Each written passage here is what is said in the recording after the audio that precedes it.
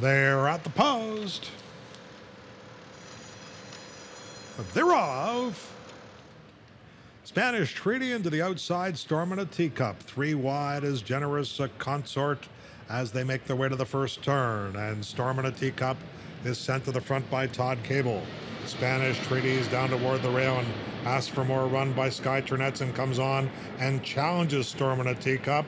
And these two are going to duel early, and they've opened up four and a half lengths on the duo of Raging Brook inside and Generous Consort outside. Another three and a half lengths to Rocks a Sweet Thing. Then Star of the Forest. Midnight Rocks second to last. Gojin trails 24 flat for the opening quarter. And Storm in a teacup on the outside now takes the lead by three quarters of a length. Spanish Treaty has yielded in second.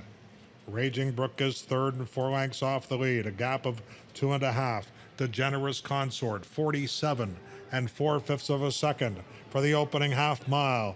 And it's Storm in a teacup.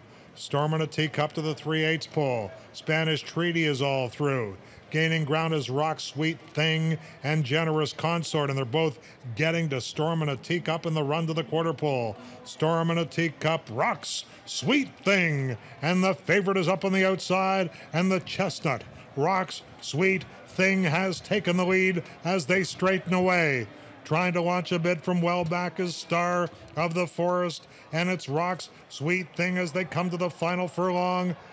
Star of the Forest on the far outside is trying to cut into that lead, and it's Rock's Sweet Thing, Star of the Forest on the outside. Rock Sweet Thing, Star of the Forest will run out of racetrack. Rock Sweet Thing a length and a half at the end, finishing second, Star of the Forest, then Storm in a Teacup in Midnight Rocks.